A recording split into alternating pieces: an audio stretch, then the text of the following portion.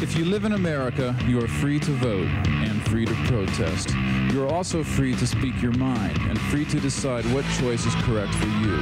Don't take freedom for granted. Vote to keep it strong. If you like to rock, rock the vote. Live free, stay free, let freedom rock. This is a message from Sonic Youth. Rock the vote. Yeah, you get a. It's a song I.